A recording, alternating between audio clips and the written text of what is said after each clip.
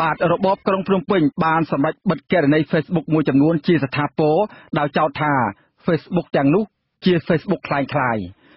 អង្គការសង្គមស៊ីវិលធ្លាប់មើលបញ្ហាសិទ្ធិមនុស្សនិងប្រព័ន្ធផ្សព្វផ្សាយស្វាគមន៍ចំពោះការបិទគណនី Facebook คล้ายៗក៏ប៉ុន្តែត្រូវធានាថាធ្វើឡើងដោយតម្លាភាពនិងមិនមែនជាលេសដើម្បីបិទ Facebook ដែលជាអ្នកតាមដានធ្លាប់មើលបញ្ហាសង្គមកម្ពុជានោះទេបាទពីរដ្ឋធានី Washington លោកទីនសាការីយ៉ារាយការណ៍ជុំវិញព័ត៌មាននេះ មន្ត្រីសង្គមស៊ីវិលសម្ដែងក្តីបារម្ភថាយុទ្ធនាការបិទគណនី Facebook និងគេហទំព័រមួយចំនួនដែលរបបក្រុងភ្នំពេញអាចយកជាលេសចង់បង្កើតច្បាប់អក្រិតកម្មប្រឆាំងប្រព័ន្ធអ៊ីនធឺណិតឬបំបត្តិសម្លេងអ្នកហ៊ានរិះគន់របបលហ៊ុនសែនប្រធានការិយាល័យស៊ើបអង្កេតនៃអង្គការសិទ្ធិមនុស្សលីកាដូលោកអំសំអាត សង្កេតឃើញថាគណនី Facebook ឬគេហទំព័រណាដែលមានការជេរប្រមាថអ្នកនយោបាយមិនមែនគណៈបកកណ្ដាលអំណាចនោះមិនជាបញ្ហាអ្វីទេ ក៏ប៉ុន្តែសម្រាប់អ្នកប្រើប្រាស់បណ្ដាញសង្គមណាដែលបានជេរប្រមាថរបបលហ៊ុនសែនគឺតែងតែសមត្ថកិច្ចស្រាវជ្រាវនិងចាប់ខ្លួនបានមិនដែលរួចខ្លួននោះឡើយទោះជាយ៉ាងណាក៏ដោយលោកស្នើរបបក្រុងភ្នំពេញអនុវត្តវិធានច្បាប់លើម្ចាស់ Facebook និងគេហទំព័រคล้ายៗ ទីមួយបើសិនជាថាភេទនឹងវាបង្កមានបាត់ល្មើសវាបង្កឲ្យប៉ះពាល់បានន័យថាមានចេតនកម្មអីកើតឡើងអានេះត្រូវអនុវត្តតាមផ្លូវច្បាប់ណាយើងត្រូវរកតែយ៉ាងណាដើម្បីធ្វើការទប់ស្កាត់ហើយបើសិនជាការបាត់ទេទាំងអស់ហ្នឹងហើយយើងអត់បានបង្ហាញនៅតាមមូលហេតុនិងមូលដ្ឋានឲ្យបានសមរម្យក្នុងការបាត់ទេទាំងអស់ហ្នឹងទីអានឹងវាជាក្តីកង្វល់មួយអាចជះឥទ្ធិពលទៅដល់អ្នកប្រើប្រាស់បណ្ដាញសង្គមហ្នឹងជាពិសេសអ្នកដែលមានរិះគន់ន់ទៅលើរដ្ឋាភិបាលរិះគន់ទៅលើមន្ត្រីរបស់រដ្ឋាភិបាលហ្នឹងអាចរងនៅហានិភ័យអាចប្រហែលជាហេតុមួយដែលអាចគេធ្វើការបិទបានជាបន្តកាលពីខែទី27ដុល្លារក្រសួងមហាផ្ទៃបានចុះផ្សាយថានាយកដ្ឋានព័ត៌មានវិទ្យានៃក្រសួងមហាផ្ទៃបានសហការជាមួយអង្គភាពនិងស្ថាប័នពាក់ព័ន្ធសម្រាប់បិទជាស្ថាពរនៅគេហទំព័រនិង Facebook Clan Client មួយចំនួនដូចជាគេហទំព័រឈ្មោះសមាគមវៀតណាមនៅកម្ពុជា Facebook ក្លែងខ្លាយឈ្មោះកូនប្រុសរបស់មេដឹកនាំរបបក្រុមហ៊ុនពេញលោកហ៊ុនម៉ាណែត Facebook ក្លែងខ្លាយឈ្មោះអគ្គនាយកដ្ឋានរដ្ឋាភិបាលជាតិលោកវងបុតអិនត្រេវុតជាដើមក្រសួងមហាផ្ទៃហាងថាកំពុងបន្តការងារបិទគណនីក្លែងខ្លាយជាច្រើនទៀតដែលកំពុងធ្វើសកម្មភាពទុច្ចរិតនិងបន្តបញ្ជាអត្តសញ្ញាណគេហទំព័រផ្លូវការរបស់ក្រសួងស្ថាប័នរដ្ឋដើម្បីឲ្យមានភាពច្បាស់លាស់ឲ្យប្រជាពលរដ្ឋបានដឹងនិងជៀសផុតពីអំពើឆោបបោកក្រសួងមហាផ្ទៃបញ្ជាក់ថាការបិទគណនី Facebook និងភ័យខ្លែងខ្លាយដើម្បីជាគោលដៅរក្សាឲ្យបាននៅសុវត្ថិភាពនិងភាពត្រឹមត្រូវក្នុងការប្រើប្រាស់បណ្ដាញទំនាក់ទំនងសង្គម Facebook ជូនថ្នាក់ដឹកនាំនៃរបបលហ៊ុនសែនកាលពីកំឡុងពេលយុទ្ធនាការឃោសនានិងការបោះឆ្នោតកាលពីថ្ងៃទី29កក្កដា Facebook ឈ្មោះសមាគមវៀតណាមនៅកម្ពុជា បានអំពាវនាវឲ្យបរតវៀតណាមរស់នៅកម្ពុជាទាំងអស់នាំគ្នាទៅបោះឆ្នោតឲ្យគណៈបកប្រជាជនកម្ពុជាកាលពីឆ្នាំ2013 Facebook មួយនេះបានជាប្រមាថព្រះមហាក្សត្ររហូតមកដល់ពេលនេះ សមត្ថកិច្ចមិនទាន់រកឃើញម្ចាស់ពិតប្រាកដឃើញនៅឡើយទេខុសពីម្ចាស់គណនី Facebook របស់ពលរដ្ឋខ្មែរមួយចំនួនដែលធ្លាប់ជេរប្រមាថរិះគន់មេដឹកនាំរបបលហ៊ុនសែនត្រូវបានសមត្ថកិច្ចចាប់ខ្លួនបានភ្លាមភ្លាមលហ៊ុនសែនធ្លាប់ប្រមានថាអ្នកជេរលោកតាម Facebook មិនអាចមានសេរីភាពនៅក្រៅឃុំបានលើសពី8នាទីនោះឡើយ។ទោះបីអ្នកឯងដាក់ឈ្មោះអីក៏ដោយចុះដាក់ឈ្មោះអីក៏ដោយចុះជាឈ្មោះអាចក់អាចែមក៏ដោយចុះប៉ុន្តែយូរបំផុត8នាទីហើយរកឃើញទីតាំងចូលជើងហើយត្រូវចាំ នាយកប្រព័ន្ធផ្សព្វផ្សាយនៃមជ្ឈមណ្ឌលកម្ពុជាដើម្បីប្រព័ន្ធផ្សព្វផ្សាយឯករាជ្យហៅកាត់ថា VOD លោកណប់វីយល់ថាមិនមានផលប៉ះពាល់អវិជ្ជមានដល់សង្គមទេបើសិនជាក្រសួងមហាផ្ទៃបិទគណនី Facebook និងគេហទំព័រប្រកបដោយតម្លាភាពនិងកំប្រាស់ប្រាហេតុផលនៃការបិទនេះដើម្បីជាលេសបិទបណ្ដាញសង្គមណា ដែលជួយតាមដានពីបញ្ហាសង្គមនោះលោកណាំវីផ្ដល់យោបល់ថាក្នុងវិធានការបែបណាក៏ដោយ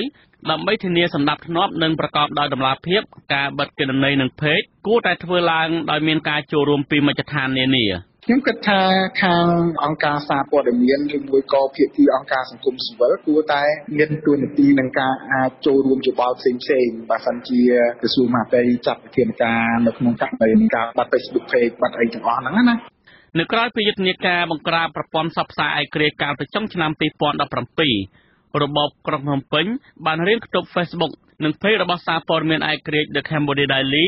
ដោយបញ្ជាឲ្យក្រុមហ៊ុនអ៊ីនធឺណិតទាំងអស់នៅកម្ពុជា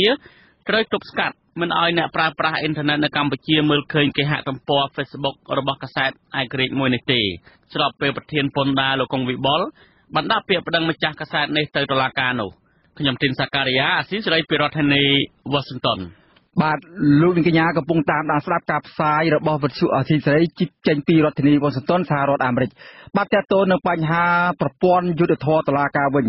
អ្នកនាំពាក្យគណៈបកប្រជាជនកម្ពុជាលោកសុកអេសានបានបញ្ចេញប្រតិកម្មចំពោះលោកសង្សានករណាមន្ត្រីនាំពាក្យសមាគមអាត6ថាការផ្លាស់ប្ដូរមន្ត្រីតុលាការមួយចំនួនធ្វើឡើងដោយមិនតម្លាភាព បាទលោកសុកអេសានអះអាងថាការលើកឡើងបែបនេះគឺជាការប្រមាថប្រជាស្ដារព្រះមហាក្សត្របាទតកតទៅនឹងបញ្ហានេះឥឡូវនេះយើងបានភ្ជាប់ខ្សែទូរស័ព្ទជាមួយនឹងលោកសឹងសានករណាដើម្បីសាកសួរលោកផ្ទាល់អំពីប្រតិកម្មរបស់លោកសុកអេសានជុំវិញការប្រមាលមើលជុំវិញប្រព័ន្ធតុលាការនៅកម្ពុជាសប្តាហ៍នេះបាទខ្ញុំបាទសូមជម្រាបសួរលោកសឹងសានករណាបាទបាទជំរាបសួរបាទ បាទលោកករណាលោកបាទជំរាបសួរបាទបាទខ្ញុំលឺហើយអរគុណច្រើនជំរាបសួរបាទបាទលោកករណាតើលោកយល់ឃើញយ៉ាងម៉េចដែរចំពោះប្រតិកម្មរបស់លោកសុកអេសានមន្ត្រីនាំពាក្យគណៈបកប្រជាជនកម្ពុជាតកតងនឹងការលើកឡើងរបស់លោកជុំវិញបញ្ហាមួយចំនួនការដោះដូរមន្ត្រីនៅក្នុងប្រព័ន្ធតុលាការកម្ពុជាសប្តាហ៍នេះបាទសូមជឿបាទជា ខ្ញុំសម្រាប់អ្វីដែលជាទូទៅចំណាប់អារម្មណ៍របស់ខ្ញុំនេះគឺកន្លងមកខ្ញុំមិនដែលជាចង់មានចេតនាឆ្លើយឆ្លងអ្វីទៅនឹង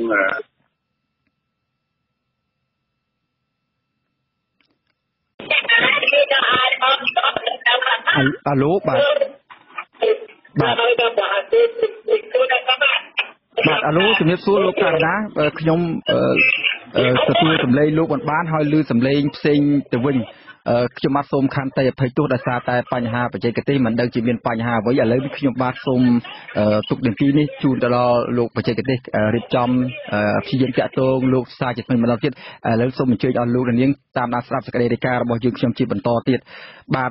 លោកនាងកញ្ញាជាទីមេត្រីអង្គការសង្គមស៊ីវិលដែលធ្វើការងារតាក់ទងនឹងសិទ្ធិមនុស្សគ្រោងលើកយកបញ្ហារំលោភសិទ្ធិមនុស្ស ទៅលើបំនឹងការរំលោភបំពានទៅលើក្មេងស្រីប្រាប់ទៅអ្នករាយការណ៍ពិសេសនៃអង្គការសហប្រជាជាតិទទួលបន្ទុកសិទ្ធិមនុស្សនៅកម្ពុជា គឺអ្នកស្រី Rona Smith បាទដែលលោកស្រី Rona Smith គ្រងនឹងមកបំពេញទស្សនកិច្ចនៅប្រទេសកម្ពុជានាចុងខែតុលានេះបាទលោកយុនសមៀនរាយការណ៍ជុំវិញព័ត៌មាននេះ សង្គមស៊ីវិលដែលធ្វើការងារតាក់ទងទៅនឹងបញ្ហាសិទ្ធិមនុស្សរំពឹងថាកង្វល់របស់ពួកគេនឹងត្រូវបានអ្នកស្រី Rona Smith យកចិត្តទុកដាក់ស្ដាប់និងរកវិធីដោះស្រាយ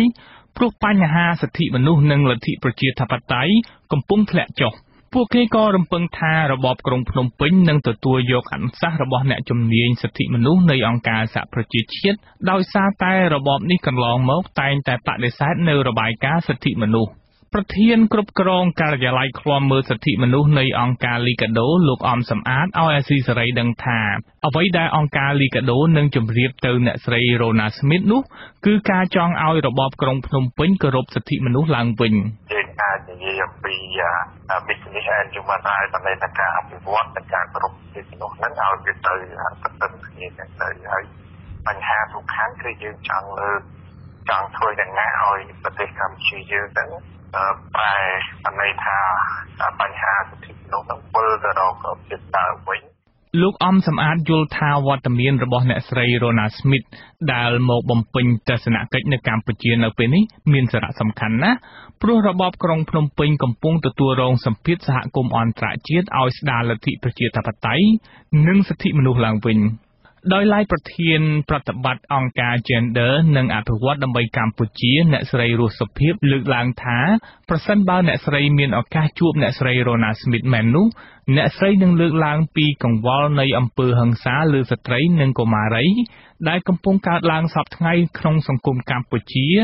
ដែលនៅមិនទាន់ដោះស្រាយឲ្យមានប្រសិទ្ធភាពនៅឡើយយើងចង់ឃើញ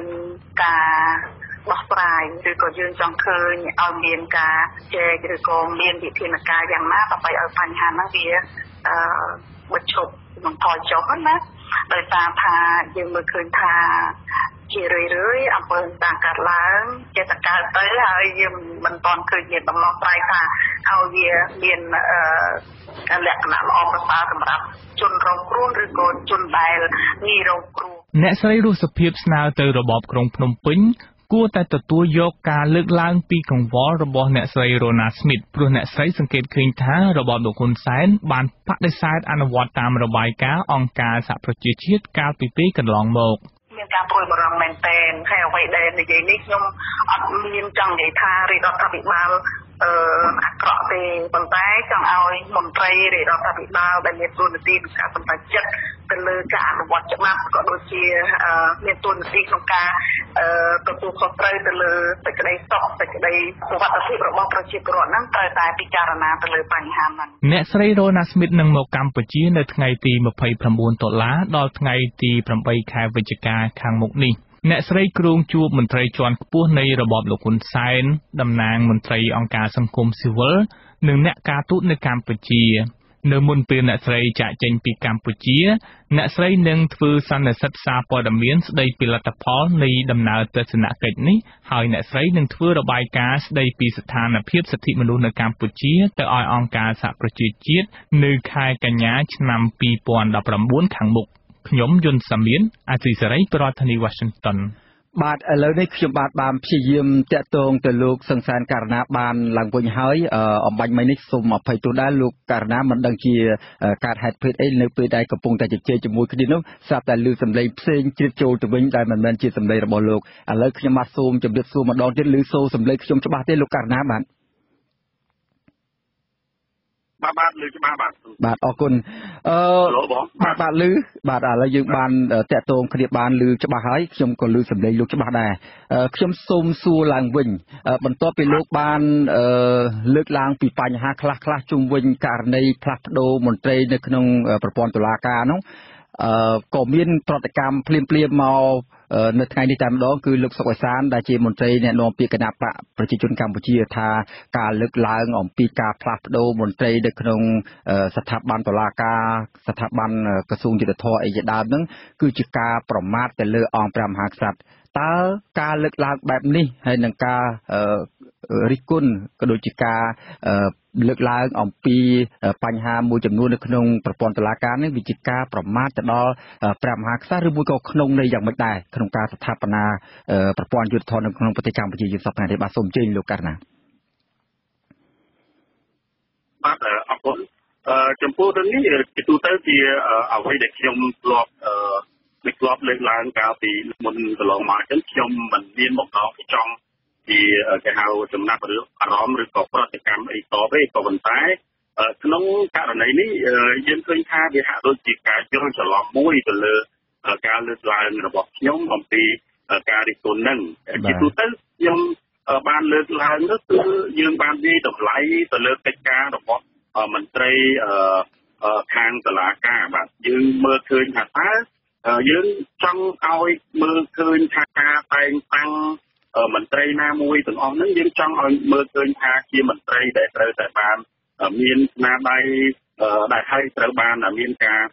វិតម្លៃអំពីកិច្ចការសកម្មរបស់គាត់ដើម្បីជួយសង្គមជួយការពារលើយុទ្ធសាស្ត្រសង្គមអីជាដើមព្រោះអាហ្នឹងយើងមើលឃើញទៅអ្វីដែលជា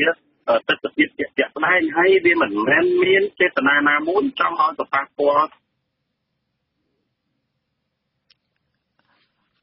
អាឡូបាទបាទលោកករណាបាទលោកនាងជាទីមេត្រីគួរឲ្យសោកស្ដាយគឺខ្ញុំ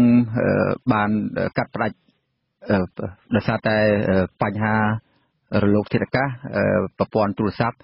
មិនដំណើរការល្អយើងបានកាត់ផ្ដាច់ខ្សែទូរស័ព្ទជាមួយលោកសង្សានករណាជាថ្មីម្ដងទៀតហើយអឺហាក់ដូចជាការសន្ទនានេះមិនតមិនបានទៅមុខល្អសោះឥឡូវ ខាងបច្ចេកទេសកំពុងតែព្យាយាមតាក់ទងទៅលោកសង្សានករណាជាថ្មីម្ដងទៀតចង់ឲ្យលោកបកស្រាយនិងលើកពីបញ្ហាមួយចំនួន ដែលកើតមាននៅក្នុងប្រព័ន្ធយុទ្ធធននៅក្នុងប្រទេសកម្ពុជា បាទដោយសារតែប្រព័ន្ធយុទ្ធធននៅក្នុងប្រទេសកម្ពុជានឹងមានការរិះគន់ជាច្រើន អំពីការសម្រេច មិនបានយុត្តិធម៌ហើយការតែងតាំងមន្ត្រីដែលមកទទួលបន្ទុកការងារនេះទៀតសោតក៏មានការមិនពេញចិត្តពេញថ្លាមទៅដល់សាធារណជនដែលមានបញ្ហាពាក់ព័ន្ធជាមួយគ្នានឹងដែរហើយមន្ត្រីរដ្ឋាភិបាលតែងតែលើកមន្ត្រីនៃរបបក្រុងភ្នំពេញហ្នឹងក៏តែងតែលើកថាការផ្លាស់ប្ដូរមន្ត្រីរដ្ឋាភិបាលក្រសួងនីមួយៗហ្នឹងតែងតែផ្ដោតទៅលើសមត្ថភាពស្នាដៃ ក៏ប៉ុន្តែស្នាដៃនិងសមត្ថភាពហ្នឹងតែងតែឲ្យតម្លៃទៅលើស្នាដៃនោះខុសគ្នារវាងអង្គការសង្គមស៊ីវិលប្រជាពលរដ្ឋនិងការឲ្យស្នាដៃទៅលើរបបដឹកនាំនិងជាពិសេសមន្ត្រីរដ្ឋមន្ត្រីដែលកាន់ក្រសួងនីមួយៗតែម្ដងឥឡូវនេះគឺអ្នកបច្ចេកទេសបានប្រាប់ខ្ញុំថាបានភ្ជាប់ខ្សែទូរស័ព្ទជាមួយលោកសង្សានករណាបានជាថ្មីម្ដងហើយខ្ញុំសង្ឃឹមថាជាប់លើកនេះមិនដាច់មិនដាច់ទៀតទេនឹងអាច យើងសន្ទនាគ្នាបានជោគចំចប់ចុងចប់ដើមបាទជំរាបសួរជាថ្មីម្ដងទៀតលោកសង្សានករណាបាទបាទជំរាបសួរបងបាទបាទបាទបាទលោកអាចមានប្រសាសន៍បន្តនៅអ្វីដែលខ្ញុំបានសាកសួរពីខាងដើមអំពីប្រតិកម្មរបស់លោកសុកអេសានតកតងនឹងការផ្លាស់ប្ដូរការតែងតាំងមន្ត្រីថ្មីនៅក្នុងប្រព័ន្ធយុទ្ធធរកម្ពុជាសប្តាហ៍ថ្ងៃនេះបាទសូមជឿ បាទអ្វីដែលខ្ញុំលើកឡើងនោះគឺយើងមិនមែនថាបំលាភាពនេះតតែតែការតែងតាំងមានការរាយការណ៍អីមកខាងសង្គមស៊ីវិលអីអញ្ចឹងនោះទេអ្វីដែលយើងចង់ឃើញនោះគឺការតែងតាំងរាល់មន្ត្រីរាជការឬក៏មន្ត្រីតុលាការនោះស្របតាមគោលការណ៍វិតម្លៃរបស់ខាងស្ថាប័នទាំងអស់ហ្នឹងហើយវាធ្វើឲ្យការតែងតាំងហ្នឹងអាចធ្វើឲ្យមានការទទួល ស្ទរពីសាធារណជនដើម្បីនៅពេលដែលអនុវត្តទៅនោះវាក៏ជាមុខមាត់របស់ស្ថាប័នទាំងអស់នោះដែរបាទជារៀងការតែងតាំងណាមួយហ្នឹងគឺយើងឃើញថាវាអាចមានការរិះគន់នេះហ្នឹងប៉ុន្តែចេតនាទាំងអស់ហ្នឹងយើងឃើញថាអ្វីដែលខ្ញុំលើកឡើងមិនមែនមានបំណងទៅមានការប៉ះពាល់អង្គព្រះមហាក្សត្រទេហើយមួយទៀតនោះយើងឃើញហើយថាការតែងតាំង ទាំងអស់នេះក៏ធ្លាប់មានការរិះគន់ដែរយើងឃើញហើយថាដូចជាការតែងតាំងកន្លងមកតែងតាំងទៅលើអ្នកដែលប្រព្រឹត្តហិង្សាទៅលើអ្នកកំណែនេះអញ្ចឹងយើងឃើញមានការប្រតិកម្មយ៉ាងខ្លាំងពីសាធារណជននេះជាដើមអញ្ចឹងយើងចង់ឲ្យថាដូចជាការតែងតាំងបុគ្គលណាមួយយើងឃើញថាការតែងតាំងនឹងវាស្របតាមការគ្រប់គ្រងពីសាធារណមតិផងដែរហើយខ្ញុំនិយាយរឿងសម្លាប់ទៀតអីទាំងអស់ហ្នឹងគឺ ក្នុងន័យហ្នឹងគឺយើងមិនចង់ថាការតែងតាំងមួយទៅគឺឲ្យមានការរិះគន់អីទាំងអស់នោះទេហើយយើងមិនចង់ឲ្យឃើញថាទូនីតិខាងពិតទៅគួរតែដឹងថាទូនីតិរបស់អង្គការសង្គមស៊ីវិលយើងគឺយើងឃ្លាំមើលទៅលើទៅលើការគោរពសិទ្ធិមនុស្សទៅលើចិត្តវិទ្យាសង្គមអីទាំងអស់នេះឯងទាំងអស់នេះឯងហើយយើងយើងឃើញថាយ៉ាងម៉េចយើងអាចនិយាយទៅតាមហ្នឹងហើយ ទាំងអស់នេះយើងមិនមានចេតនាណាមួយទៅធ្វើឲ្យមានការប៉ះពាល់ទៅដល់ស្ថាប័នខាងណាទេព្រោះយើងមើលឃើញថាមតិរបស់យើងគឺយើងផ្ដោតទៅលើអ្វីដែលជារឿងមួយដែលយើងមើលឃើញក្នុងការអនុវត្តកន្លងមកហើយវាឆ្លុះបញ្ចាំងមួយចង់ឲ្យមានការពិចារណាទៅករណីខាងក្រោយខាងក្រោយទៀតយើងគិតថាការតែងតាំងទូនាទីទាំងអស់នោះជាការពិតណាស់វាជាឆន្ទានុសិទ្ធិរបស់ការទទួលខុសត្រូវរបស់អ្នកដែលគាត់ខាង ពិសេសឲ្យបើយើងនិយាយថាពាក់ព័ន្ធទៅនឹងទូនាទីរបស់ព្រះអង្គខាងព្រះមហាក្សត្រយើងអត់បានផ្ដោតទៅលើនឹងទេនេះផ្ដោតទៅលើគ្រាន់តែថាទូនាទីអ្នកទាំងអស់ហ្នឹងក៏បានអនុវត្តកន្លងមកយើងចង់ឲ្យមានអនុវត្តទៅគឺមានការសាទរពីសាធារណជនមានជាចេតនារបស់ខ្ញុំផ្ទាល់ហើយខ្ញុំមិនមានចេតនាអីទៅដល់កម្រិតដូចការចោទរបស់អ្នកនាំពាក្យដែលគាត់លើកឡើងទេបាទ បាទលោកករណាអំបញ្ញមិញនេះលោកលើកឡើងអំពីការតែងតាំងមន្ត្រីណាក៏ដោយត្រូវរឈលលើគោលការណ៍សមភាពសមធម៌មានមានស្នាដៃនៅតម្លាភាពអីជាដើមអញ្ចឹងក៏ប៉ុន្តែអាការដែលសន្មត់ថាបុគ្គលដែលត្រូវឡើងនោះមានស្នាដៃនោះគឺហាក់បីដូចជាឲ្យតម្លៃនឹងផ្សេងគ្នារវាងមន្ត្រីអ្នកដែលមានសិទ្ធិអំណាចក្នុងក្នុងការតែងតាំងនិងមតិសាធារណជនដែលកំពុងមើលទៅលើសកម្មភាពរបស់មន្ត្រីនោះ ជាក់ស្ដែងបើយើងពិនិត្យមើលការតម្លើងទូរនទីបុណ្យស័ក្តិទៅលើមន្ត្រីកន្លងមកហ្នឹងខាងក្រសួងខាងមន្ត្រីពាក់ព័ន្ធដែលមានទូនាទីក្នុងការតម្លើងច្រើនតែតម្លើងទៅលើបុគ្គលណាដែលមានស្នាដៃលោកថាមិនត្រូវថាមានស្នាដៃប៉ុន្តែគាត់ឲ្យតម្លៃថាស្នាដៃលើបុគ្គលណាដែលមានស្នាដៃក្នុងការដាក់ពាក្យប្តឹងចាប់មន្ត្រីសិទ្ធិមនុស្សចាប់អ្នកកសែតដាក់គុកចាប់មន្ត្រីចាប់សកម្មជនដេកធ្លីដាក់គុកបានច្រើនអីចឹងទៅឬមួយក៏បកអំពើហ ংস ាជាដើមចឹងដូចជាករណីវាយអ្នកតំណាងរាស្ត្រនៅក្នុងនៅខាងមុខរដ្ឋសភាកន្លងមកអីចឹងទៅក្រោយមកបានឡើងទូរនីតិឡើងបុនសាអីចឹងតើការឲ្យតម្លៃទៅលើស្នាដៃនិងតម្លាភាពដែលដែលតែងតែអង្គការសង្គមស៊ីវិលរិះគន់នឹងការឲ្យតម្លៃរបស់ មន្ត្រីរដ្ឋាភិបាលមន្ត្រីរបបក្រុងភ្នំពេញវាយ៉ាងម៉េចដែរលោកករណីបាទបាទតំណនេះហើយគឺជាការព្រួយបារម្ភរបស់អង្គការសង្គមស៊ីវិលដែលយើងប្រកាសធ្លាប់មើលទៅលើទូនីតិនៃអ្នកអនុវត្តទូនីតិដែលមានការទទួលខុសត្រូវទៅលើបញ្ហាសង្គមជាតិនេះឯងតំណនេះយើងមានការព្រួយបារម្ភមែនទែនហើយអ្វីដែលយើងលើកឡើងនេះ វាជារឿងមួយទទួលខុសត្រូវរបស់រដ្ឋាភិបាលទៅដូចជាស្ថាប័នកម្ពុជាកម្ពុជាទាំងបីទៅវិញទេដែលយើងចង់ឲ្យស្ថាប័នទាំងអស់នេះបានមានការអនុវត្តទូនាទីរបស់ខ្លួនឲ្យមានភាពប្រសើរឡើងហើយមានការទទួលស្គាល់ពីសាធារណជនក៏ដូចជាប្រជាពលរដ្ឋនៅក្នុងប្រទេសកម្ពុជាយើងហ្នឹងព្រោះយើងយើងមានការបារម្ភហើយអ្វីដែលអនុវត្តបានល្អទៅហ្នឹងគឺមិនមែនជាគុណសម្បត្តិរបស់អង្គការសង្គមស៊ីវិលទេគឺអ្នកទាំងអស់នោះឯងដែលជាអ្នកទទួលខុសត្រូវ ហើយយើងយល់ថាបើការធ្វើការតែងតាំងទៅលើនរណាម្នាក់មួយដែលធ្វើការរំលោភបំពានទៅលើសិទ្ធិមនុស្សមិនគោរពទៅលើគោលការណ៍លទ្ធិជាតិបតៃហើយយើងប្រទេសមួយដែលប្រកាន់របបលទ្ធិជាតិបតៃទៅទៀតអញ្ចឹងហើយបញ្ហាទាំងអស់នេះវាកាន់តែកត់ជ្រៅទៅធ្ងន់ធ្ងរទៅហើយបើសិនជាយើងមើលឃើញសន្តិដែលលើកឡើងតាមសារព័ត៌មានបណ្ដាញសារព័ត៌មានមួយចំនួនថាប្រមុខរដ្ឋាភិបាលមានសន្តិក្នុងការ គោរពសិទ្ធិមនុស្សរហូតដល់អះអាងថាប្រទេសកម្ពុជាមានគោរពមានការរំលោភសិទ្ធិមនុស្សទៀតអញ្ចឹងនិយាយថាតើការដែលប្រព្រឹត្តទាំងអស់ហ្នឹងតើវាឆ្លុះបញ្ចាំងទេនៅឆន្ទៈទាំងអស់ហ្នឹងអញ្ចឹងទៅបើសិនជារដ្ឋាភិបាលបានធ្វើការរៀបចំជាពិសេសតួអង្គអ្នកដែលគាត់បំពេញតួនាទីឲ្យមានការគោរពសិទ្ធិមនុស្សហ្នឹងមានភាពល្អប្រសើរហើយមានការសាទរពីសាធារណជនខ្ញុំយល់ថាមុខមាត់ឬក៏ស្នាដៃទាំងអស់ហ្នឹងមិនមែនជាស្នាដៃរបស់អ្នកណាគឺស្នាដៃរបស់អ្នកដឹកនាំរដ្ឋនឹងឯងព្រោះវាជាទូតនីតិមួយដែលសំខាន់សម្រាប់ធ្វើឲ្យទេរភាពឬក៏សន្តិសុខសង្គមឬក៏ការគោរពសិទ្ធិមនុស្សនឹងឲ្យមានភាពប្រសើរឡើងបាទបាទអរគុ ណណាស់លោកករណាអឺ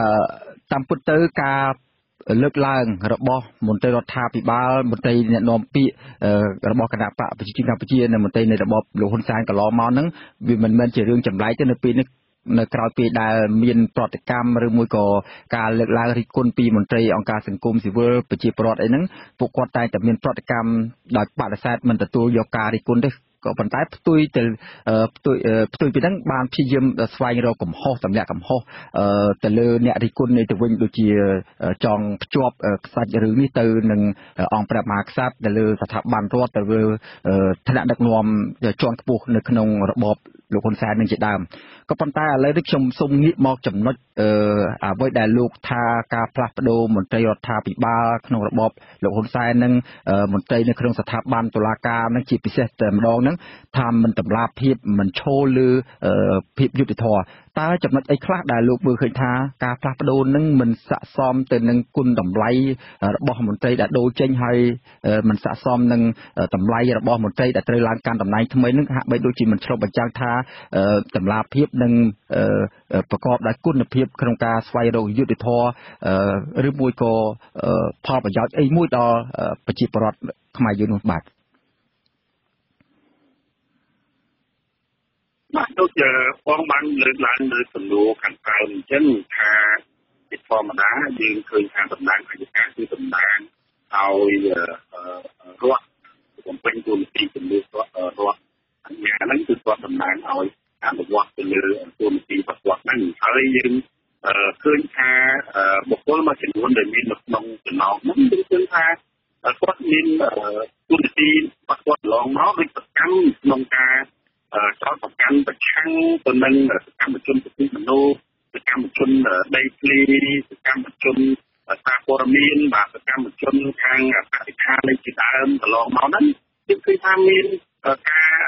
ដំឡើងទូនាទីហ្នឹងវាហាក់ដូចថាយើងដឹងហើយថាការដែលចោតប្រកាន់កន្លងមកហ្នឹងទាំងមានមតិជាតិហើយអន្តរជាតិពិសេសថាបានអន្តរជាតិសំខាន់សំខាន់មួយចំនួនហ្នឹងបានឆ្លៃការ ពេញចិត្តចំពោះដំណាក់កាលកន្លងមកមានការចោទប្រកាន់ទាំងអស់ហ្នឹងហើយដូច្នេះយើងយកថាបើសិនជាមានការលើកតម្កើងបុគ្គលដែលធ្វើរំលោភបំពានទៅលើសិទ្ធិមនុស្សទាំងអស់ហ្នឹងគឺថាតើមុខមាត់របស់រដ្ឋាភិបាលដែលថាអាចរួចផុតពីការចោទប្រកាន់អំពីការរំលោភសិទ្ធិមនុស្សនោះដោយរបៀបម៉េចបើសិនជាមានការតែងតាំងនៅបុគ្គលដែលពាក់ព័ន្ធទៅនឹងបញ្ហាទាំងនេះដូច្នេះយើងចង់ឲ្យមើលឃើញឡើងវិញថា ការដែលអ្នកអនុវត្តនីតិនេះយើងចង់ឲ្យមានជាអ្នកមួយដែលគាត់អនុវត្តទៅគោរពនៅសិទ្ធិពលរដ្ឋគោរពនៅសិទ្ធិរបស់កម្មជនឬក៏គោរពគ្រប់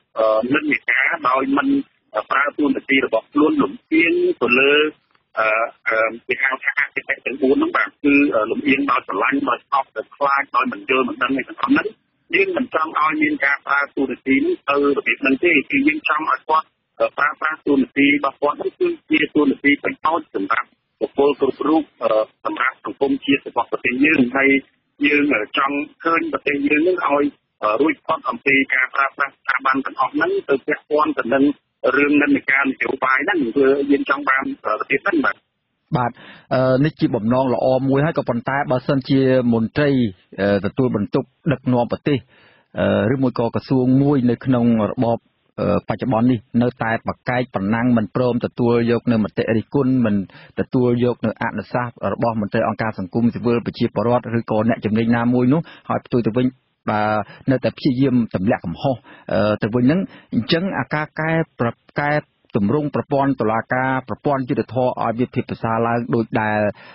មន្ត្រីរបបក្រុងភ្នំពេញតែងតែប្រកាសម្ដងហើយម្ដងទៀតចំពោះមុខអង្គការសិទ្ធិមនុស្សអន្តរជាតិ ទាំង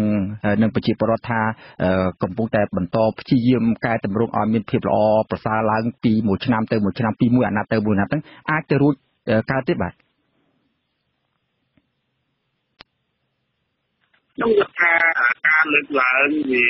ជារឿងមួយដែលគាត់លើកឡើងប៉ុន្តែការជឿជាក់គឺអាស្រ័យទៅលើការពិនិត្យទៅលើស្ថានភាពជាក់ស្ដែងគាត់មានសិទ្ធិលើកឡើងក៏អ្នកដែលគេមានការពិនិត្យ តាមដានទៅលើបញ្ហាសង្គមកម្ពុជាគេមានសិទ្ធិក្នុងការវិតម្លៃទៅតាមស្ថានភាពនឹងដែរហើយសម្រាប់ជាទស្សនៈរបស់ខ្ញុំខ្ញុំយល់ថាយើងមកជាមែនតើនោះគឺគួរតែកែប្រែអិរិយាបថប្រតិកម្មបែបនេះពីព្រោះយើងយល់ថាគួរតែទទួលស្គាល់ហើយយើងធ្វើការកែប្រែវាជារឿងមួយស្អាតជាងការដែលយើងលើកឡើងហើយស្ថានភាពនោះវាមិននៅតែបន្តស្អាតអ្វីដែលជាផលប៉ះពាល់គឺទៅលើអ្នកដែលបានលើកឡើងទៅវិញទេដូច្នេះយើងចង់ឲ្យការលើកឡើងរាល់បញ្ហាទាំងឡាយនេះគឺជាបញ្ហាពិតហើយយើងមិនមានការលំបាកក្នុងការប្រតិកម្មដោយធ្វើឡើងជាហៅថាគ្រាន់តែជាការដោះស្រាយមួយឲ្យទៅរួចពីបញ្ហាហ្នឹងអាហ្នឹងវាមិនមែនជារឿងទទួលខុសត្រូវទេដូច្នេះយើងចង់ឲ្យ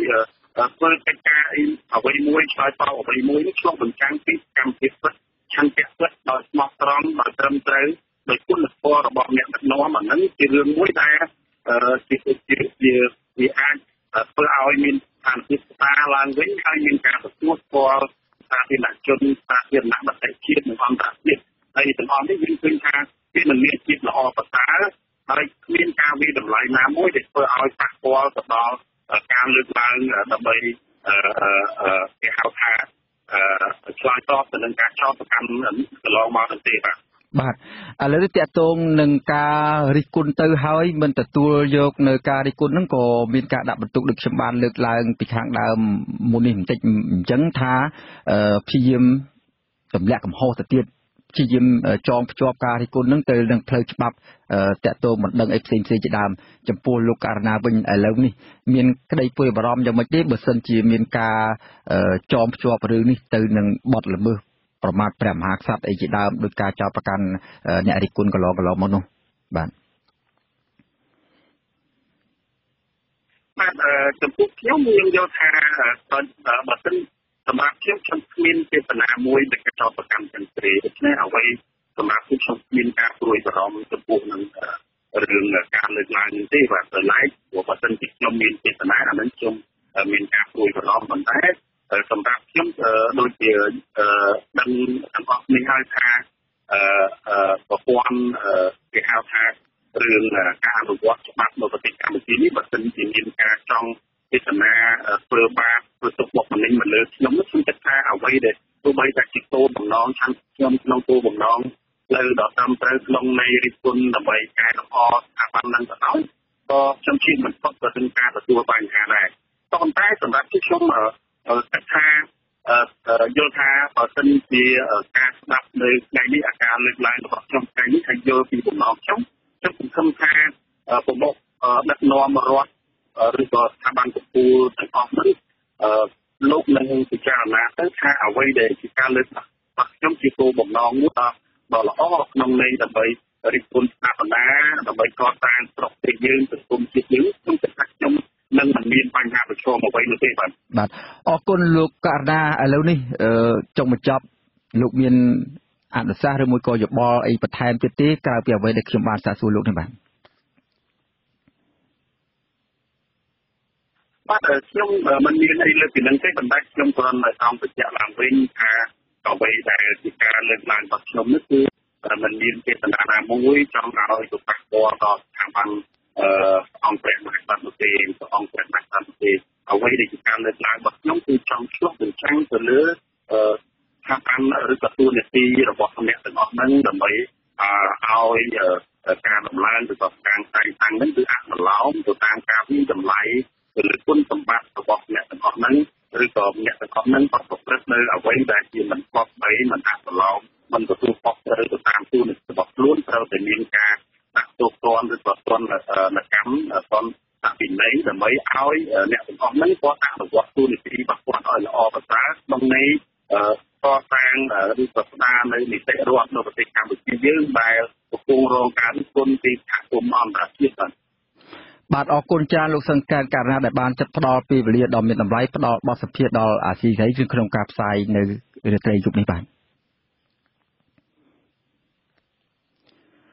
បាទលោកបាទអរគុណបាទលោកនាងកញ្ញាជាទីមេត្រីវិទ្យុអាស៊ីសេរីផ្សាយតាមរយៈរលកធាតុអាកាសខ្លីឬ Shortwave តាមកម្រិតនិងកម្ពស់ដូចតទៅនេះ ពេលព្រឹកចាប់ពីម៉ោង5កន្លះដល់ម៉ោង6កន្លះតាមរយៈរលកធាតុអាកាសខ្លី11850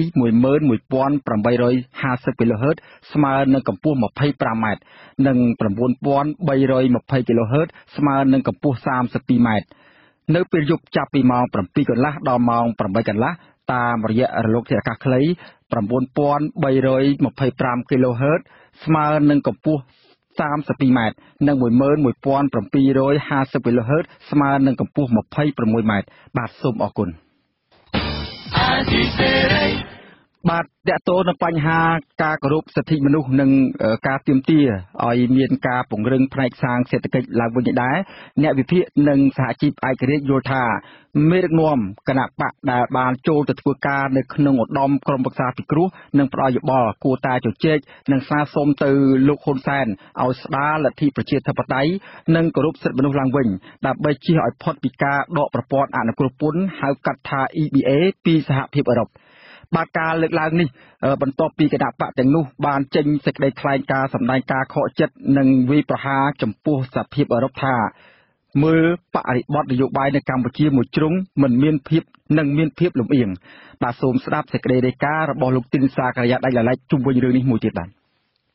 និវិភាកនិងសហជីពឯករាជ្យចាត់ទុកសេចក្តីថ្លែងការណ៍របស់គណៈបកមួយចំនួន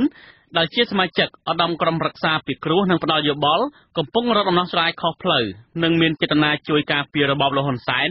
ឲ្យគេចផុតពីការទទួលខុសត្រូវបើសិនជាមានការដកប្រព័ន្ធអនុគ្រោះពន្ធមែននោះ។ សមាជិកក្រុមនៃវិភាគវ័យក្មេងលោកបងដែតលើកឡើងថាប្រសិនបើគណៈបកជាសមាជិកឧត្តមក្រុមប្រឹក្សាពិគ្រោះនិងផ្ដល់យោបល់ចង់ឲ្យសហភាពអឺរ៉ុបបន្តរក្សាប្រព័ន្ធអនុគ្រោះពន្ធ EBA សម្រាប់កម្ពុជាគួរតែជជែកឬស្នើសុំដោយផ្ទាល់ទៅលោកហ៊ុនសែនដើម្បីឲ្យគោរពតាមលក្ខខណ្ឌរបស់សហភាពអឺរ៉ុបដែលតម្រូវឲ្យរបបលហ៊ុនសែនអនុវត្តឲ្យបាននូវការគោរពសិទ្ធិមនុស្សប្រជាធិបតេយ្យនិងការគោរពសិទ្ធិការងាររបស់កម្មករជាដើម។ លោកបន្តថាករណីគណៈបកទាំងនោះចេញសេចក្តីថ្លែងការណ៍ស្តីបន្ទោសសហភាពអឺរ៉ុបនោះគឺជាការស្វែងរកដំណោះស្រាយខុសផ្លូវនិងជាការជួយការពាររបបលហ៊ុនសែនឲ្យគេចផុតពីការធ្វើខុសត្រូវចំពោះកម្មករដែលនឹងប្រឈមការបាត់បង់ការងាររាប់សែននាក់នោះ ស្ថាប័នឧត្តមក្រមប្រសាធ្វើយោបល់គឺអត់មានសិទ្ធិក្នុងការក្នុងការធ្វើឲ្យស្ដារឡើងវិញតែមានអនុភាពគឺមានគេហៅថាការពិគ្រោះយោបល់ដល់លោកនាយករដ្ឋមន្ត្រីហ៊ុនសែនដើម្បីឲ្យគាត់បន្ទន់ចំហចរចាជាមួយនឹងគណៈបព្វប្រឆាំងក៏ដូចជាសហភាពអឺរ៉ុបដើម្បីឲ្យពួកគាត់មានការឃើញការផ្លាស់ប្ដូរនឹងជាវិជ្ជមានទៅគេបន្តការផ្ដល់ការអនុគ្រោះពន្ធទៀតបើមិនចឹងទេកម្ពុជានឹងបាត់បង់នៅចំណូលដ៏ធំធេងមួយជាពិសេសគឺ វិស័យការងាររបស់កម្មករកម្មការនីបច្ចុប្បន្នហ្នឹងអញ្ចឹងណាកាលពីថ្ងៃទី27ខែតុលាឧត្តមក្រុមប្រឹក្សាពិគ្រោះនិងផ្ដល់យោបល់នៃគណៈបកផ្នែកតែមួយ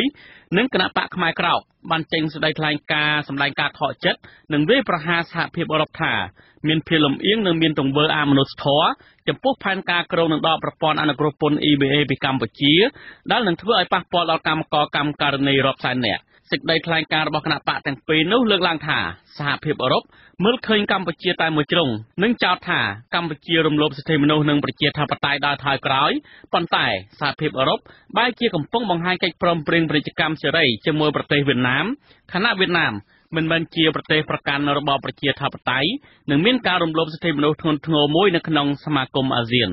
អនុប្រធានគណៈបកខ្មែរតែមួយលោកគុជលីលើកឡើងថា បើសិនជាសហភាពអឺរ៉ុបដកប្រព័ន្ធអនុគ្រោះពន្ធពីកម្ពុជាមកនោះគឺរឹតតែល្អដើម្បីឲ្យកម្ពុជាក្លាយជាប្រទេសរឹងមាំនិងអាចរស់នៅដោយខ្លួនឯងមិនចាំបាច់ពឹងលើជំនួយបរទេសទោះជាយ៉ាងណាក្តីលោកឲ្យដឹងដែរថាគណៈបករបស់លោកគ្រោងនឹងលើកបញ្ហាដល់ប្រព័ន្ធអនុគ្រោះពន្ធនេះនៅក្នុងកិច្ចប្រជុំប្រចាំខែរបស់ឧត្តមក្រុមប្រឹក្សានិងពិគ្រោះយោបល់ដើម្បីស្នើសុំទៅលោកហ៊ុនសែនពិចារណាដោះស្រាយ។ បើសិនជាគណៈកម្មការអឺរ៉ុបគម្រោងកាត់ផ្តាច់ EBA ពីចេញពីស្រុកខ្មែរថាយើងមិនបានអនុវត្តត្រឹមត្រូវតាម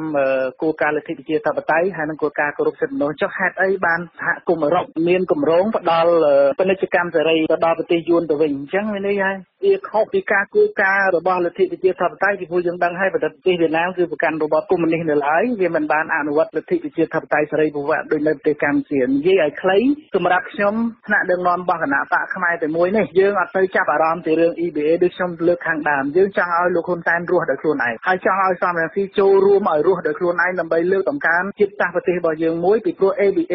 ចង់មិនចង់ក៏ខ្ញុំបានមើលច្បាប់នឹងដែរមុនឆ្នាំ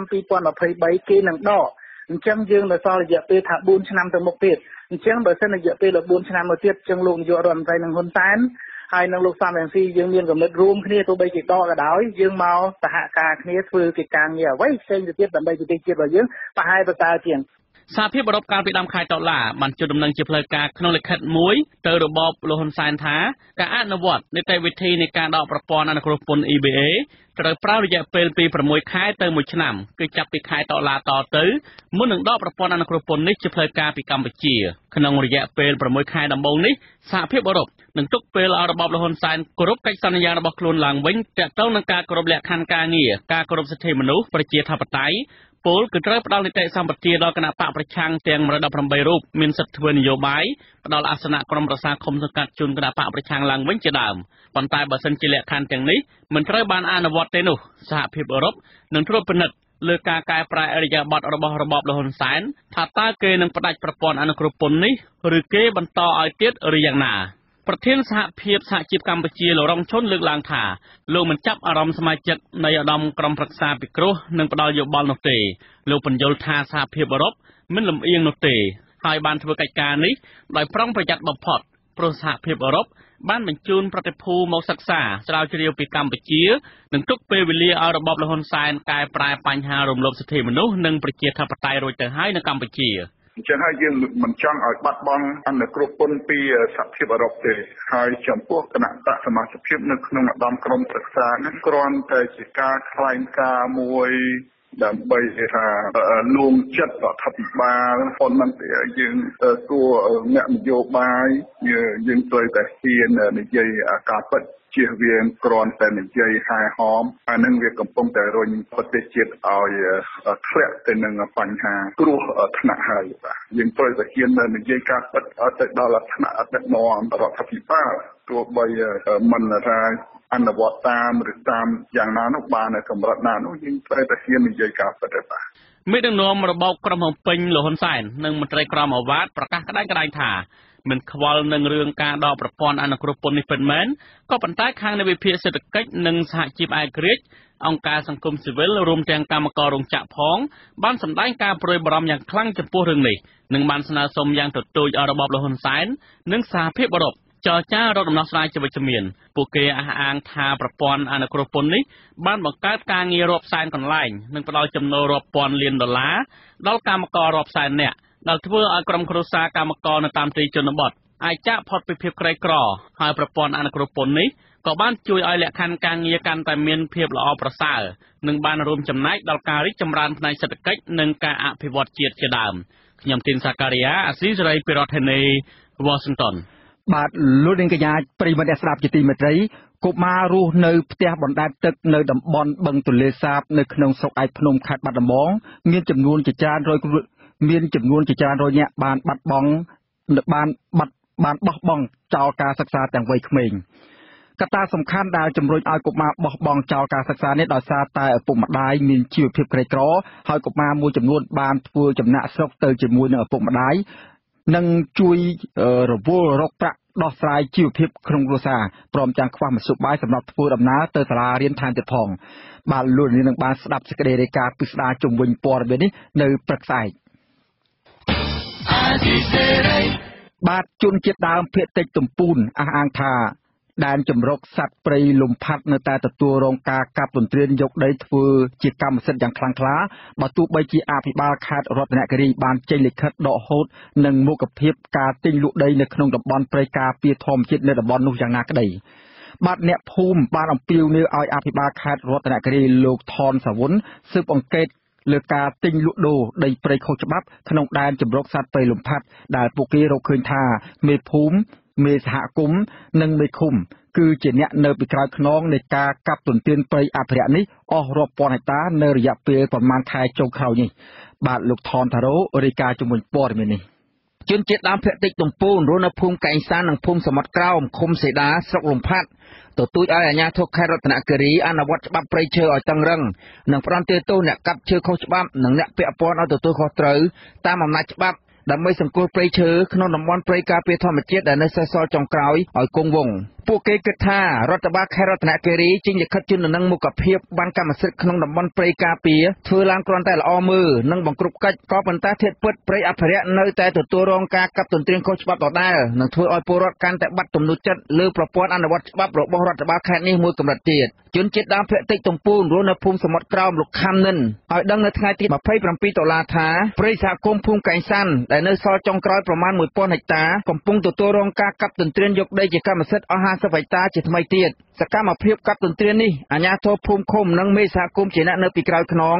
និងមានអាជ្ញាធរភូមិខ្លះលក់ដីព្រៃអភិរក្សជារបបអាជីពចិញ្ចឹមជីវិតលោកថានៅរយៈពេលប្រមាណឆ្នាំចុងក្រោយនេះព្រៃសហគមន៍ភូមិកែងសាន់ស្ថិតក្នុងដែនជម្រកសត្វព្រៃលំផាត់ត្រូវឈ្មួញកាប់ទន្ទ្រានអស់ជាង2000ហិកតា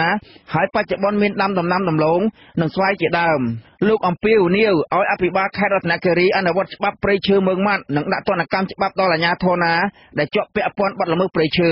បាទខ្ញុំចង់ស្នើដោយអាជ្ញាធរខេត្តបាទដោយអាជ្ញាធរសមត្ថកិច្ចគ្រប់តំបន់ក្នុងភូមិកេងឆាន់គុំសដានេះបាត់បង់ច្រើនដោយមន្ត្រីក្រសួងបរិស្ថានមន្ត្រីក្រសួងបរិស្ថានសមត្ថកិច្ចឲ្យគ្រប់រូបឲ្យចុះមកទៀតខ្ញុំចង់ស្នើទៅស្វ័យខេត្តឲ្យគាត់អនុវត្តរដ្ឋពួកណាវិព្រឹត្តបាត់មកឲ្យគាត់ដាក់ឲ្យគាត់ចេញច្បាប់មកឲ្យគួរប្រអាក់សុបស្ដាប់ខ្លះមកបាត់បង់ដីក្នុងតំបន់គៀងសាំនេះថាជា2500ហាត់នេះបាត់បង់តាំងពី2014ដល់ឥឡូវ កាលពីថ្ងៃទី19តុលាកន្លងទៅអភិបាលខេត្តរតនគិរីលោកថេងសវុនបានចេញលិខិតដកហូតដីនិងមុខភាពលិខិតបញ្ជាក់ការទិញលក់ដីនិងផ្ទេរកម្មសិទ្ធិខុសច្បាប់និងការកាប់ទន្ទ្រានព្រៃក្នុងតំបន់ព្រៃការពារធម្មជាតិចំនួន5កន្លែងក្នុងខេត្តនេះរដ្ឋបាលខេត្តរតនគិរីបានបញ្ជាឲ្យសមាជិកនិងអាជ្ញាធរពាក់ព័ន្ធត្រូវមុខភាពនិងកំទេចចោលរាល់លិខិតផ្ទេរកម្មសិទ្ធិនិងការទិញលក់ដីព្រៃក្នុងតំបន់ព្រៃការពារនិងប្រកាសមិនទទួលស្គាល់រាល់លិខិតផ្ទេរកម្មសិទ្ធិដោយខុសច្បាប់ក្នុងព្រៃការពារធម្មជាតិ ជនជាតិដើមភាគតិចទំពូនរស់នៅភូមិសមុទ្រក្រោមឃុំសេដាលោកឈុនផាឡាចាត់ទុកចំណាត់ការរបស់រដ្ឋបាលខេត្តរតនគិរីថាជាពន្លឺលទ្ធផលថ្មីមួយធ្វើឲ្យអ្នកភូមិកក់ក្ដៅខ្លះដែរក៏ប៉ុន្តែពួកគេបារម្ភខ្លាចអាជ្ញាធរអនុវត្តច្បាប់ធូររលុងនិងមិនគ្រប់ជ្រុងជ្រោយលោកថាព្រៃសហគមន៍ភូមិសមុទ្រក្រោមស្ថិតក្នុងដែនជម្រកសត្វព្រៃលំផាត់កំពុងទទួលរងការកាប់ទន្ទ្រានព្រៃយកដីជាកម្មសិទ្ធិរាប់ពាន់ហិកតាក្រោយពីឈ្មោះនឹងអាជ្ញាធរគប់ខុចគ្នាកាប់រំលំឈើប្រណិតមានតម្លៃលក់ឲ្យជនជាតិវៀតណាមអស់ទាំងស្រុងលោកបន្ថែមថាថ្មីថ្មីនេះជនជាតិដើមភាគតិចបានចុះល្បាតព្រៃប្រទះឃើញគ្រឿងចាក់មួយគ្រឿងនិងកម្មករច្រើនអ្នកសម្រុកកាប់រំលំព្រៃคล้ายជាវាលអស់មួយផ្នែកធំនៅចំណុចភ្នំអាតពុំឃើញមានមន្ត្រីជំនាញចូលអនុវត្តច្បាប់នោះទេព្រៃឈើហ្នឹងគេកាប់បលែងទាំងតូចទាំងធំហ្នឹងនៅលើភ្នំហ្នឹងវាលគេធ្វើជាការវាអស់ហ្មងឡើងវាលស្លែវហ្មងតែគេគេកាប់ហ្នឹងគេកាប់គេកាប់ដាច់ជាដុំជាដុំវា 3កន្លែង4កន្លែងគេគេអត់កាត់ជុំអគេអត់មលុំជុំគ្នាទេគេបាទអញ្ចឹងបានខ្ញុំចង់សំណុំពរឲ្យអភិបាលស្រុកនឹងគាត់ជួយគិតគូរកន្លែងរឿងដីដែនជំរកដែលគេកាប់នឹងចង់ឲ្យស្ព្រៃនឹងនៅគង់វង្សដើម្បីទុកកូនទុកចៅយើងបានជំនាន់ក្រោយចំណែកមេឃុំសេដាលោកអង្គប៊ុនធឿនបដិសេធថាការលើកឡើងរបស់ពលរដ្ឋគឺជារឿងមិនពិតលោកថាដែនជំរកសត្វព្រៃលំផាត់ពុំមានការកាប់ទន្ទ្រានយកដីជាកម្មសិទ្ធិទៀតទេចំណែកព្រៃនៅចំណុចភ្នំអាតក៏មិនស្ថិតក្នុងតំបន់ព្រៃការពារដែរលោកបន្ថែមថាព្រៃអភិរក្សនៅចំណុចភ្នំហើលអាជ្ញាធរមូលដ្ឋាននិងមន្ត្រីជំនាញបានកំណត់ព្រំប្រទល់ដីព្រៃអភិរក្សនិងបានដាក់ស្លាកហាមមិនឲ្យមានការកាប់ទន្ទ្រាននោះទេតំបន់ភ្នំអាបអត់មានពាក់ព័ន្ធនឹងចំនួនសត្វព្រៃទេតំបន់នេះគឺវាតំបន់នៅភូមិភូមិសមុទ្រក្រមប៉ុន្តែការកាប់ការគោះនេះខ្ញុំមិនដឹងទេប៉ុន្តែខ្ញុំក៏ជាតែមើលគឺដោយខ្ញុំនៅតែភ្នំដដែលតែយើងនៅតែព្រៃដដែលអញ្ចឹងណាអត់មានពីណាទិញអត់មានពីណាលក់ទេតំបន់តំបន់ភ្នំហើយ ជាតំបន់សម្រាប់ការពារសត្វព្រៃគេទទួលស្គាល់មានពីណាកាប់គោះទេដីនឹងដដែលព្រៃនឹងដដែលភ្នំនៅដដែលឥឡូវយូរចំពោះមុខនេះគេនឹងដាក់បកគោលដើម្បីការពារជំវិញតំបន់ហ្នឹងមន្ត្រីពង្រឹងសិទ្ធិអំណាចសហគមន៍និងសមាគមអាត6លោកប៉ែនប៊ុនណា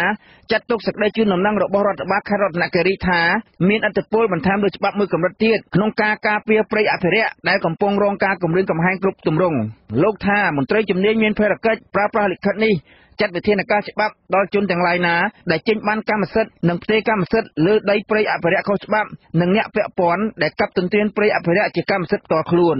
លិខិតជូនដំណឹងហ្នឹងជាផ្លូវការហ្នឹងដើម្បីចាត់វិធានការតាមទៅតាមផ្លូវច្បាប់ទៅលើជនល្មើសដែលកាប់រៀនឬមួយក៏ជនល្មើសទាំងឡាយណាដែលពាក់ព័ន្ធជាមួយនឹងការចេញចេញលិខិតការចេញបានកម្មសិទ្ធិទៅលើដីទាំងអស់នោះបាទហើយมันអាចបកកាយបានទេលោកប៉ែនបូណាបន្ថែមថាកន្លងទៅសហគមន៍និងមន្ត្រីអាត6បានដាក់បណ្ដឹងរួមគ្នា4បណ្ដឹងប្តឹងអាជ្ញាធរមូលដ្ឋាននិងមន្ត្រីនគរបាលយុតិធធពីបទអនុគ្រោះនាំឲ្យកើតមានបទល្មើសព្រៃឈើក្នុងដែនសមត្ថកិច្ចរបស់ខ្លួនហើយមកទល់ពេលនេះសំណុំរឿងនេះកំពុងស្ថិតក្នុងដំណើរការស៊ើបអង្កេតរបស់តំណាងអัยការខេត្តរតនគិរីនៅឡើយសមាគមអាត6ខេត្តរតនគិរីអង្កេតឃើញថាបើទោះបីជាដែនចម្រុកសត្វព្រៃលំផាត់ស្ថិតនៅឃុំសេដាទទួលរងការកាប់រៀនជាកម្មសិទ្ធិអស់រាប់ពាន់ហិកតាក្តីតែពុំឃើញមានមន្ត្រីនគរបាលយុតិធធអនុវត្តទោសដល់ជនល្មើសណាម្នាក់នោះទេគឺឃើញតែកោះហៅជនជាតិដើមភាគតិចដែលជឿឆ្អើរឿងបទល្មើសព្រៃឈើមកបំភ្លឺខ្ញុំបាទហនតរោអាស៊ីសេរីពីរដ្ឋធានី Washington បាទលោកនាងទើបបានស្ដាប់ព័ត៌មានប្រចាំថ្ងៃរបស់វិទ្យុអាស៊ីសេរីដែលរៀបចំជូនដល់ខ្ញុំបាទសេកបណ្ឌិតពីរដ្ឋធានី Washington សូមអញ្ជើញអស់លោកនាងរងចាំស្ដាប់សេចក្តីរាយការណ៍ផ្សេងទៀតនៃការផ្សាយរបស់យើងខ្ញុំនាពេលបន្តិចទៀតនេះ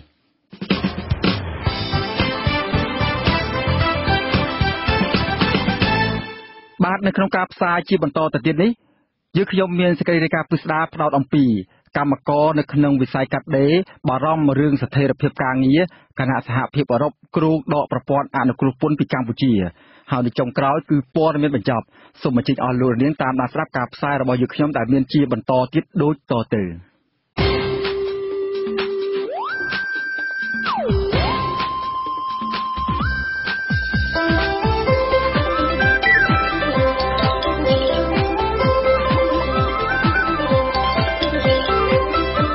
ក្តីរាយការណ៍ពិស្ដា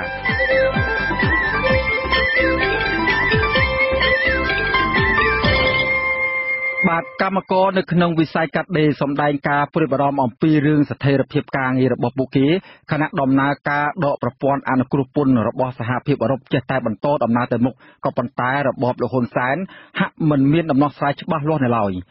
កម្មកររោងចក្រនិងសហជីពស្នើសុំឲ្យរបបលោកហ៊ុនសែន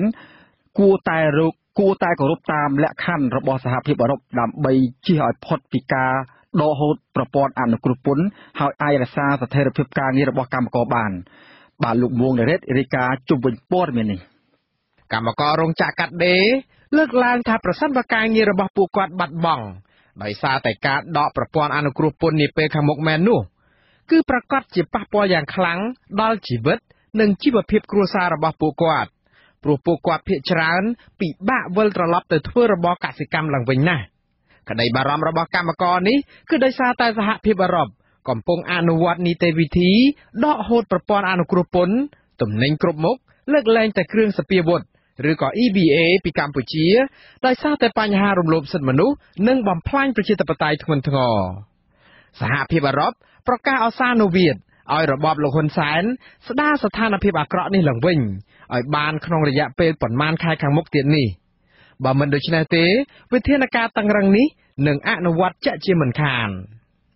កម្មកររោងចក្រមួយរូបនៅក្រុងបាវិតខេត្តស្វាយរៀងរៀបរាប់ថាកម្មករកំពុងតែព្រួយបារម្ភហើយជជែកគ្នាមិនដាច់នឹងយ៉ាងផុលផុសនៅតាមរោងចក្រអំពីរឿងស្ថិរភាពការងាររបស់ពួកគាត់ នៅពេលដែលមានការផ្សព្វផ្សាយថាកម្មករអាចប្រឈមបាត់បង់ការងារដោយសារតែសហភាពអឺរ៉ុបគ្រោងដកប្រព័ន្ធអនុគ្រោះពន្ធពីកម្ពុជាប្រសិនបើរបបលោកហ៊ុនសែនមិនដោះស្រាយវិបត្តិនយោបាយគោរពសិទ្ធិមនុស្សដោះលែងអ្នកទោសនយោបាយនិងសិទ្ធិកម្មករជាដើមនោះទេ ក្នុងនាមខ្ញុំជាកម្មករមួយរូបគឺខ្ញុំសូមសំណើដល់រាជរដ្ឋាភិបាលកម្ពុជាសម្ដេចនាយករដ្ឋមន្ត្រីហ៊ុនសែនដែររកដំណោះស្រាយនិងនឹងកែប្រែអរិយាប័ត្រដើម្បីជៀសវាងនិងជៀសផុតពីទណ្ឌកម្មពីអន្តរជាតិផ្សេងៗណាបងហើយសូមសំណើដល់សម្ដេចដែរយកប្រជាពលរដ្ឋជាធំគុំយកអំណាចទៅឲ្យបាត់សិទ្ធិសេរីភាពជាពលរដ្ឋប្រជាជាតិខ្មែរទាំងមូលដោយសារតែប្រជាពលរដ្ឋគាត់សង្ឃឹមទាំងស្រុងហើយលើអ្នកនយោបាយពី300នាក់ហ្នឹងក៏ប៉ុន្តែបើសិនជាពីពី300នាក់ហ្នឹងគិតតែអំណាចមិនគិតពីប្រជាពលរដ្ឋមិនគិតពីផលប្រយោជន៍ជាតិគឺអ្នកដែលប៉ះពាល់ខ្លាំងជាងទេគឺកម្មករនិងប្រជាពលរដ្ឋ កម្មការនីរោងចក្រម្នាក់ទៀតរៀបរាប់ដែរថាកម្មកររោងចក្រមួយចំនួនបានដឹងរួចទៅហើយអំពីសហគមន៍អន្តរជាតិដែលមានគម្រោងដាក់ទណ្ឌកម្មលើប្រទេសកម្ពុជាហើយនឹងផលប៉ះពាល់ធ្ងន់ធ្ងរដល់ប្រជាពលរដ្ឋជាពិសេសកម្មកររោងចក្រកម្មការនីរូបនេះបន្តថាជីវិតនិងជីវភាពគ្រួសាររបស់គាត់នឹងជួបការលំបាកបើគ្មានការងាររោងចក្រទេនោះព្រោះសប្តាហ៍ថ្ងៃពួកគាត់ពឹងពាក់ស្ទើរតែទាំងស្រុងទៅលើប្រាក់ខែរោងចក្រដើម្បីចិញ្ចឹមកូននិងឪពុកម្ដាយចាស់ជរានៅផ្ទះ។ កម្មករភៀកច្រើនមិនអាចវិលត្រឡប់ទៅធ្វើស្រែចម្ការវិញបានទេព្រោះអ្នកខ្លះគ្មានដីស្រែចម្ការហើយអ្នកខ្លះទៀតបើទោះបីជាមានដីស្រែចម្ការក៏គ្មានទីផ្សារសម្រាប់លក់កសិផលឲ្យបានតម្លៃខ្ពស់នោះដែរក៏ពួកដល់ជីវិតគ្រូតាអត់លុយបាត់ខាតគ្រូតាចាំកូនអត់លុយកូនរៀនចាំយ៉ាងគ្រប់មុខនោះមិនខុសគ្នាប៉ុន្មាននោះឡើយកម្មកររោងចក្រមួយរូបទៀត រៀបរាប់ថាប្រសិនបើរោងចក្របិទទ្វារដោយសារតែបញ្ហាសហភាពអឺរ៉ុបដកប្រព័ន្ធអនុគ្រោះពន្ធមែននោះគឺកម្មកររាប់ម៉ឺននាក់នឹងគ្មានការងារធ្វើដើម្បីចិញ្ចឹមគ្រួសារនិងដោះបំណុលធនាគារនោះទេម្យ៉ាងទៀតការវិលទៅចាប់ផ្ដើមធ្វើស្រែចម្ការវិញក៏មិនបានផលច្រើនសម្រាប់ដោះស្រាយជីវភាពនោះដែរកម្មកររូបនេះបន្តថាប្រសិនបើរបបលោកហ៊ុនសែនពិតជាគិតគូរដល់សុខទុក្ខរបស់កម្មករកម្មការិនីរោងចក្រនិងប្រជាពលរដ្ឋខ្មែរមែននោះ គួរតែគោរពតាមលក្ខខណ្ឌរបស់សហគមន៍អន្តរជាតិនិងសហភាពអឺរ៉ុបព្រោះលក្ខខណ្ឌទាំងនោះមិនលំបាកគោរពនោះឡើយដោយគ្រាន់តែយល់ព្រមដោះស្រាយបញ្ហានយោបាយគោរពសិទ្ធិមនុស្សនិងគោរពសិទ្ធិកម្មករជាដើមតែប៉ុណ្ណោះបាទខ្ញុំគិតថាវាអត់ពិបាកព្រោះអីបើសិនជាគាត់ឆ្លាញ់ប្រជាពលរដ្ឋឆ្លាញ់កម្មករយើងឆ្លាញ់កូនខ្មែរយើងគាត់គួរតែសហការគ្នាចាប់ដៃគ្នាដើម្បីសម្លឹងពោះទៅមុខបងព្រោះអីយើងធ្វើនេះដើម្បីឲ្យជាពលរដ្ឋយើង សបោសបាយហើយមានសន្តិភាពសពថ្ងៃរស់ទាំងភ័យខ្លាចទាំងការនិយាយស្ដីអីវាពិបាកនិយាយដែរមិនត្រឹមតែកម្មករទេដែលខ្វាយខ្វល់អំពីអនាគតរបស់ពួកគេ ខាងភៀកគីរោងចក្រក៏បារម្ភអំពីបញ្ហានេះខ្លាំងណាស់ដែរប្រធានសមាគមរោងចក្រកាត់ដេរហៅកាត់ថាជីម៉ាលោកខេនលូកាលពីថ្ងៃទី20ខែតុលា បានលើកឡើងថាការព្យួរបណ្ដោះអាសន្ននៃគម្រោងផ្ដាល់ការអនុគ្រោះពន្ធ EBA ឬទណ្ឌកម្មឯកតោភាគី ក្នុងរយៈពេលខ្លីណាមួយអាចមានផលប៉ះពាល់អវិជ្ជមានរយៈពេលវែងដល់ជីវិតរបស់កម្មករនិងគ្រួសាររបស់ពួកគាត់ហើយលោកប្រមានថាភាពរីកចម្រើនទាំងអស់ដែលកម្ពុជាសម្រេចបាន ក្នុងរយៈកាល2ទសវត្សរ៍កន្លងមកនេះអាចនឹងត្រូវបំផ្លាញយ៉ាងលឿន។ អាស៊ីសេរីមិនអាចសុំការពន្យល់ពីអ្នកនាំពាក្យក្រសួងការងារលោកហេងសួរបានទេ កាលពីថ្ងៃទី27ខែតុលាដោយសារតែលោកមិនលើកទូរស័ព្ទក៏ប៉ុន្តែមានដឹកនាំរបបក្រុងភ្នំពេញលោកហ៊ុនសែនអះអាងថារបបលោកនឹងមិនប៉ះពាល់ទេ អ្នកដែលប៉ះពាល់ខ្លាំងជាងគេ គឺថៅកែរោងចក្រដែលអាចបាត់បង់ប្រាក់ចំណេញ បើទោះជាយ៉ាងនេះក្តីលោកហ៊ុនសែនហាក់នៅមិនទាន់បង្ហាញសញ្ញាណចុះញ៉មតាមការស្នើសុំរបស់សហភាពអឺរ៉ុបនៅឡើយទេទោះបីជាសេដ្ឋកិច្ចកម្ពុជាពឹងផ្អែកយ៉ាងខ្លាំងទៅលើវិស័យរោងចក្រកាត់ដេរនេះប្រធានសហព័ន្ធសហជីពកម្ពុជាអ្នកស្រីយ៉ាងសុភ័ណ្ឌមានប្រសាសន៍ថាកម្មករពិតជាមានក្តីព្រួយបារម្ភខ្លាំងមែនអំពីស្ថិរភាពការងាររបស់ពួកគាត់ហើយបានស្នើសុំឲ្យសហជីពជួយដោះស្រាយផងដែរ។ ក៏ប៉ុន្តែលោកស្រីបញ្ជាក់ថាអ្នកដែលមានសិទ្ធិសម្រេចនៅក្នុងរឿងនេះគឺរបបលោកហ៊ុនសែនមិនមែនពួកគាត់នោះទេលោកស្រីយល់ថាប្រសិនបើរបបលោកហ៊ុនសែនពិតជាចង់ជៀសផុតពីការដកប្រព័ន្ធអនុគ្រោះពន្ធនោះគឺមិនលំបាកឡើយពលគឺគ្រាន់តែគ្រប់តាមលក្ខខណ្ឌរបស់សហភាពអឺរ៉ុបដូចជាស្ដារលទ្ធិប្រជាធិបតេយ្យឡើងវិញនិងគ្រប់សិទ្ធិមនុស្សសិទ្ធិការងារនិងសេរីភាពកម្មករឡើងវិញនោះគឺជាការស្រេច ហើយបើសិនណាគាត់មិនគិតគូរចំពោះចំណុចហ្នឹងទេខ្ញុំគិតថាពិបាកហើយប្រជាពលរដ្ឋវានឹងឆ្លោះឆ្លោះបញ្ចាំងអំពីទឹកចិត្តរបស់ប្រជាពលរដ្ឋ ខ្ញុំអត់ចង់ឲ្យស្ថានភាពនយោបាយមួយដែលយើងធ្វើទៅវាបង្ហាញចេញពីម្នាក់ម្នាក់ចង់យកជ័យជំនះរៀងរៀងខ្លួនណាខ្ញុំគិតថាមនុស្សធម្មតាកន្លែងខ្លះយើងត្រូវត្រូវតែហ៊ានចុះចាញ់ដើម្បីមនុស្សដែលយើងស្រឡាញ់ដើម្បីក្រុមគ្រួសាររបស់យើងដើម្បីអនាគតប្រទេសជាតិរបស់យើងដើម្បីកម្មករយើងដើម្បីពលរដ្ឋរបស់យើងយើងត្រូវតែហ៊ានចាញ់ហើយបើសិនណាយើងធ្វើនយោបាយយើងឲ្យហ៊ានចាញ់ខ្ញុំគិតថាពិបាកខ្ញុំគិតថាសម្រាប់ខ្ញុំគូខ្ញុំពិបាកក្នុងការគ្រប់គ្រងទេបើសិនណាអត់មានមនុស្សសុខចិត្តហ៊ានចាញ់ដើម្បីប្រជាពលរដ្ឋផងហ្នឹងសមាគមរោងចក្រកាត់ដេរកម្ពុជាជីម៉ាក់ ឲ្យដឹងថាវិស័យកាត់ដេរកម្ពុជា បានផ្ដល់ការងារដោយផ្ទាល់ដល់ប្រជាពលរដ្ឋប្រមាណ70ម៉ឺននាក់ដែលជាង85%ជាស្ត្រីមកពីបណ្ដាខេត្តនិងជនបទហើយប្រជាពលរដ្ឋ2លាននាក់ដទៃទៀតទទួលផលដោយប្រយោលពីវិស័យនេះបច្ចុប្បន្ននេះប្រាក់ឈ្នួលគោលកម្មករក្នុងវិស័យកាត់ដេរទូទាំងប្រទេសគឺ170ដុល្លារក្នុងមួយខែ ដែលគ្រោងនឹងដំឡើងដល់182ដុល្លារនៅដើមឆ្នាំ2019 ប្រាក់ខែប៉ុណ្ណេះខាងសហជីពកម្មករនៅតែចាត់ទុកថាមានកម្រិតទាបដែលមិនទាន់អាចឆ្លើយតបទៅនឹងជីវភាពរស់នៅប្រចាំថ្ងៃរបស់កម្មករបានផងគុំថាឡើយដល់អស់ការងារធ្វើពេលសហភាពអឺរ៉ុបឈប់ផ្ដល់ការអនុគ្រោះពន្ធនេះខ្ញុំបាទមួងណារ៉េតអាស៊ីសេរីរដ្ឋធានី Washington thank you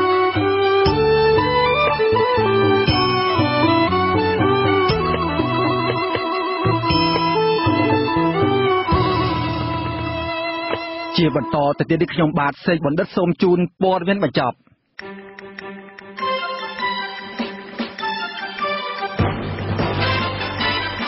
របបក្រុងភ្នំពេញបានសម្រេចបិទករណី Facebook មួយចំនួនជាស្ថាពរដោយចោទថាឈ្មោះ Facebook តែនោះคล้ายៗអង្គការសង្គមស៊ីវិល ឃ្លាំមើលសិទ្ធិមនុស្សនិងប្រព័ន្ធផ្សព្វផ្សាយស្វាគមន៍ការបិទគណនី Facebook ខ្លាំងៗ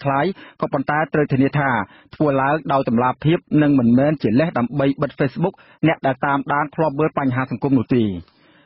អ្នកវិភាគនិងសហជីពឯករាជ្យយល់ថាមេដឹកនាំគណៈបកដែលធ្វើការក្នុងឧត្តមក្រុមប្រឹក្សាពិគ្រោះយោបល់គួរតែជជែកនិងស្នើទៅលោកហ៊ុនសែនឲ្យស្ដារលទ្ធិប្រជាធិបតេយ្យនិងគោរពសិទ្ធិមនុស្សឡើងវិញដើម្បីជៀសឲ្យផុតពីការដកប្រព័ន្ធអនុគ្រោះពន្ធ EBA ពីសហភាពអឺរ៉ុប ការលើកឡើងនេះបន្ទាប់ពីគណៈបកទាំងនោះបានចេញសេចក្តីថ្លែងការណ៍សម្ដែងការខកចិត្តនិងវាយប្រហារចំពោះសហភាពអឺរ៉ុបថាមើលបរិបទនយោបាយនៅកម្ពុជាមួយជ្រុងមានភាពលំអៀង បាទអង្គការសង្គមស៊ីវិលដែលធ្វើការងារតាក់ទងនឹងសិទ្ធិមនុស្សគ្រងនឹងលើកយកបញ្ហារំលោភសិទ្ធិមនុស្សនិងការរំលោភបំពានលើក្មេងស្រីប្រាប់ទៅអ្នករាយការណ៍ពិសេសរបស់អង្គការសហប្រជាជាតិទទួលបន្ទុកសិទ្ធិមនុស្សប្រចាំនៅកម្ពុជាអ្នកស្រី Rora Smith ដែលគ្រងនឹងមកបំពេញទស្សនកិច្ចនៅកម្ពុជានាពេលខែនៅចុងខែតុលានេះ